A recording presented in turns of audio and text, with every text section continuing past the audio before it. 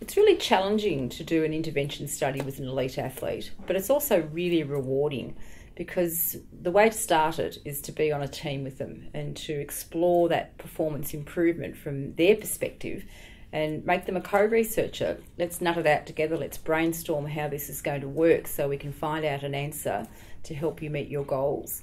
Um, we've had a number of different ways of doing that at the Australian Institute of Sport where I work.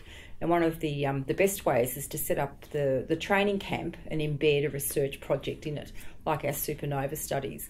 And having the athletes as part of the research team helping to drive how we're we going to find out the answer to their questions so that it's a joint effort and everyone's involved and feels equally embedded and, and equally rewarded by the outcomes.